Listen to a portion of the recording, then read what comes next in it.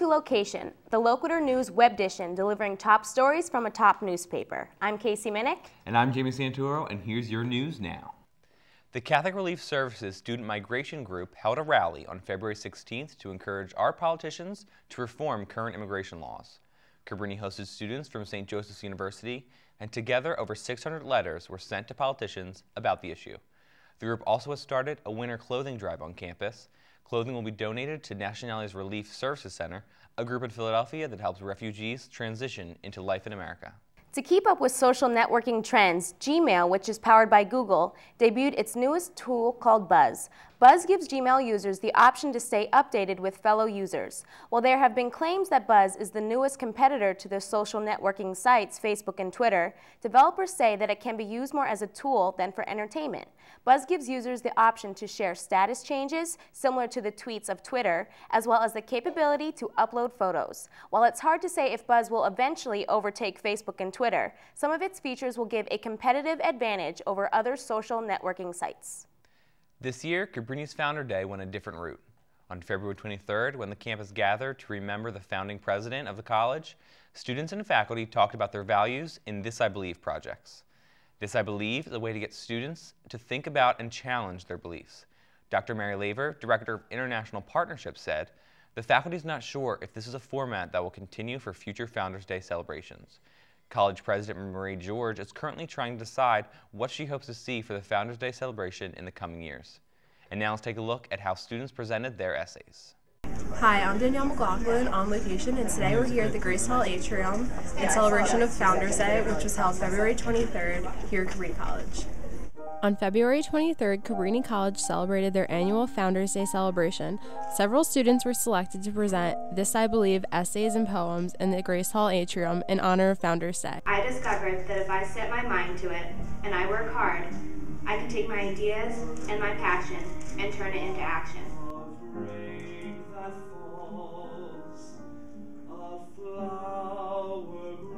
I think a miracle is the result of pure luck, like winning the lottery. But I think a miracle is a combination of hard work and determination.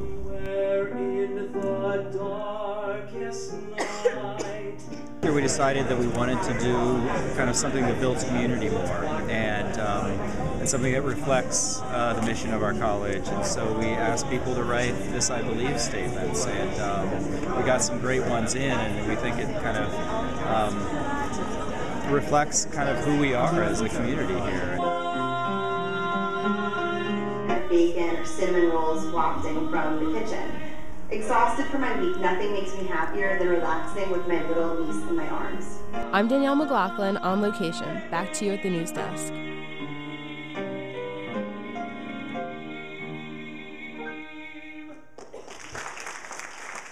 And now let's get the latest gossip with Jake and Gianna on the dirt sheet.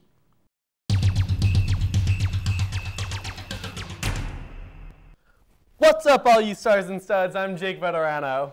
And I'm Gianna Chicatino, and welcome to the Dirt Sheet, where we give you the latest in entertainment. A rare first edition comic of Superman has sold for over $1 million. Just think, it was once available for only 10 cents. I wish I bought it. Dork. Tiger Woods held a public press conference to address his adultery this past week, but he didn't really tell us anything that we don't already know. Hilary Duff recently got engaged to her longtime boyfriend, Mike Comrie. I wonder if she or her cartoon animated conscience accepted the proposal.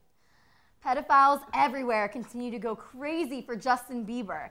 The singer was recently making a public appearance in Paris when the mob was so big that the event had to be shut down. I can't wait until he hits puberty and isn't famous anymore. Speaking of pedophiles, Chat Roulette is reeling in perverts around the world. The chat room site allows users to sit face to face or face to genitals with other strangers through webcams. Well, that's all we've got for you today. Hopefully nobody we know uses it. I'm Gianna Chicatino. And I'm Jake Veterano, the Glamazon. Oh my god, pit stains! oh, oh, well, you know, if you really want to get some hardcore pit stains, check out sophomore Kim Carlson's Zumba class in the Dixon Center every Monday at 6 o'clock. Let's see how they stay moist. Uh.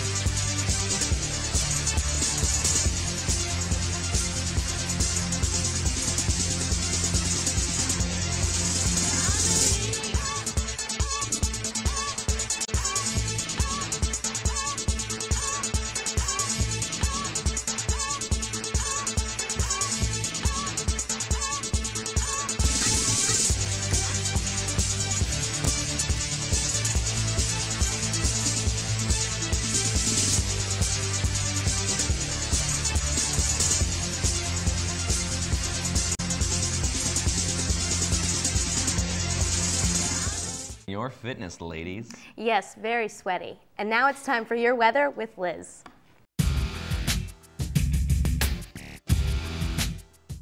Hey everyone, I'm Liz Scopoletti and I'm here to give you your weather forecast for the next couple of days. To start off on Thursday, there's actually a winter storm watch in effect. Expect a lot of snow between Thursday and Friday. The highs and lows will both be in the low 30s. Friday, snow continuing but tapering off towards the end of the day, with the high around 38 and the low 30. Saturday, cloudy skies with highs in the upper 30s to low 40s and lows in the upper 20s. And to end your weekend, partly cloudy skies with highs around 40 and the lows in the 30s.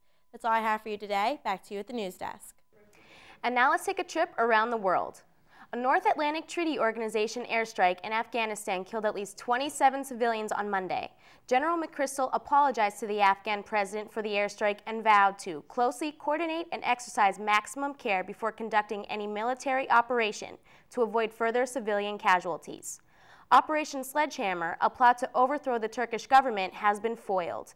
In simultaneous raids in eight sites, over 40 military commanders were arrested for conspiring to bomb mosques and shoot down a Turkish fighter jet to start an armed conflict with Greece. The arrests were made after finding secret weapon caches and gathering wiretapping evidence. Australian Prime Minister Kevin Rudd has put Australia on permanent high alert for terror threats. Rudd stated that it is clear some of the threat we now face comes the Australian born, Australian educated, and Australian residents. And now let's check in with Nick for your sports.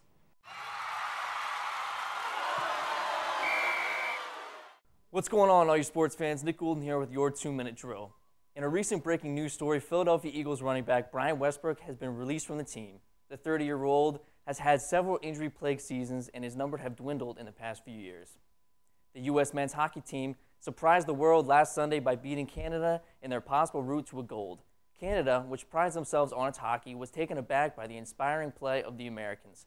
Goalie for the U.S. team, Ryan Miller, played one of the best games of his life, saving nearly 45 shots, while Brian Rafalski scored two goals in the 5 3 victory.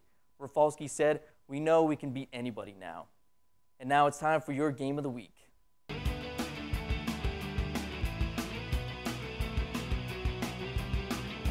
The women's basketball team faced off against the Centenary Cyclones in some playoff action Tuesday night at Nerney Fieldhouse with their back to back conference titles on the line. The Cavaliers dug themselves out of an early hole, trailing by a game high 15 points before Dina D'Amico caught fire.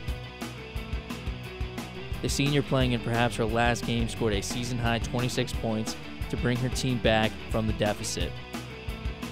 By the middle of the second half, Cavaliers found themselves down by just five. The game came down to the wire, and after a quick time out, Cabrini finally took a lead as junior guard Julie Bonomo put the team up by one with a deep three with just 11 seconds on the clock. But the Cyclones answered right back with the lay in that sealed the Cavs' demise. D'Amico had one last rush, but time ran out before she could get a shot off. And just like that, the Cavaliers were eliminated from the playoffs. The final score Centenary 67, Cabrini 66. The Cavs will find out if they are invited to the ECAC tournament later this week. Cabrini men's basketball swept the CSAC Special Awards this season. Coach Marcus Kahn received the Coach of the Year award for the second consecutive year. Kevin Misavicius was selected as the Player of the Year, and freshman Corey Lemons was recognized as the Rookie of the Year. Cabrini is the number one seed in this year's CSAC tournament and has home court advantage throughout. That's all I have for you this week. Tune in next week for more sports coverage. Thanks for watching this week's Web Edition, and be sure to tune next week for another great episode. I'm Jamie Santoro. And I'm Casey Minnick, and thanks for stopping by.